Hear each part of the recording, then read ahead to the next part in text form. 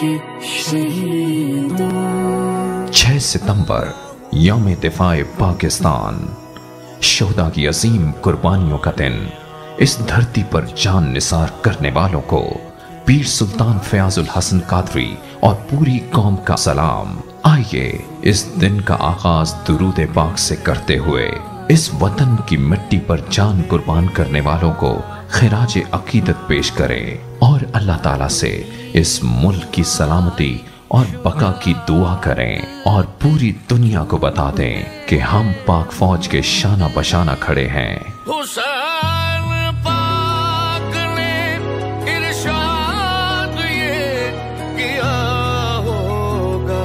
A tribute message to our martyrs from Peer Sultan Fayaz Hasan Qadri, Zeb Sajada Darbar, Hasrat Sultan Bahu Rahmatullah Alayhi.